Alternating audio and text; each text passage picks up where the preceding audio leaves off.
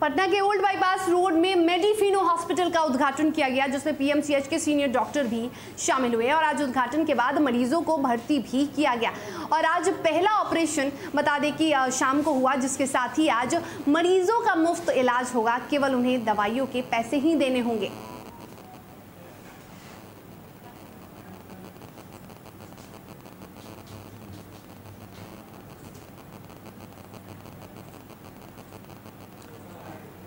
तो आज मेडिफिनो अस्पताल का उद्घाटन किया गया और आज इस मौके पर मरीजों का मुफ़्त में इलाज किया गया और आज दवाओं के सिर्फ़ पैसे लगे। बता दें, मेडिफिनो अस्पताल का उद्घाटन किया गया और आज मरीजों का मुफ़्त में इलाज किया गया, जिसमें पीएमसीएच के सीनियर डॉक्टर भी आज उद्घाटन समारोह में मौजूद रहे। फैसिलिटी, यहाँ पर हर तरह की फैसिलिटी है, नवजात शिशु से लेकर के ओल्ड एज तक। किसी तरह की सर्जरी। एक्सीडेंटल हो, नन एक्सीडेंटल हो, लेप्रोटोमी हो, सारी चीज़ की व्यवस्था है। नौ बजे से जो पेशेंट लेना शुरू करेंगे तो रात के लगभग ग्यारह बजे के बाद एक ऑर्थो का ऑपरेशन भी करेंगे हम लोग।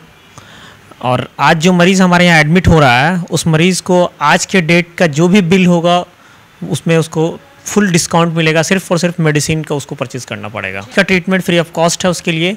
और आज के बाद कल से, कल के तारीख में जो भी एडमिट होंगे, उनका सिर्फ़ लिया जाएगा बिल और आज के डेट में कोई भी अगर ऑपरेशन वगैरह या मेडिसिन वगैरह, कोई कोई भी चीज़ की इन्वेस्टिगेशन भी होती है, उसमें भी उसको डिस्काउंट रहेगा हमारे हॉस्पिटल में।